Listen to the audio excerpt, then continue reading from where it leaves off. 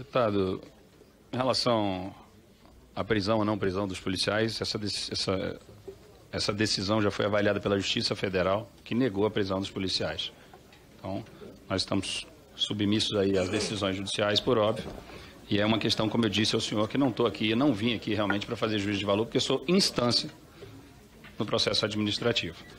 Então, é, enfim, os fatos já foram comentados aqui. O diretor da Polícia Rodoviária Federal já disse que isso não é procedimento operacional padrão da Polícia é, Rodoviária Federal. Ele vai falar um pouco sobre formação e a questão dos direitos humanos que o senhor colocou também.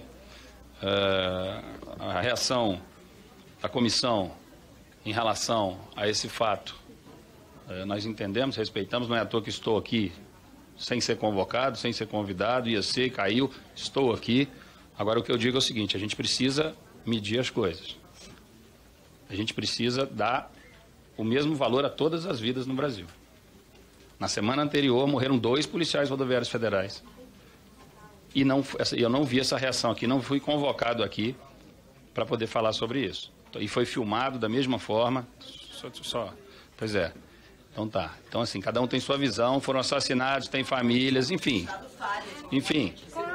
Enfim. Vamos garantir a, a palavra do A palavra está com o ministro, deputado Zé Medeiros. Por favor, ministro, com a palavra. Não, eu acho assim, enfim, não, tudo tranquilo. E, e, e, eu só disse isso. Eu só acho que a gente tem que reagir da mesma forma. Ninguém está aqui para defender a morte, ninguém está aqui para defender assassinato, ninguém está aqui para defender homicídio. Muito pelo contrário.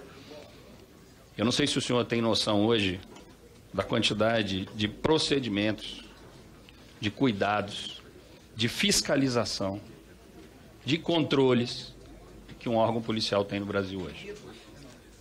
O senhor não tem noção, é controle interno, é controle externo, é controle da Câmara, é controle do TCU, é controle do Ministério Público, é controle da Correia, é só controle.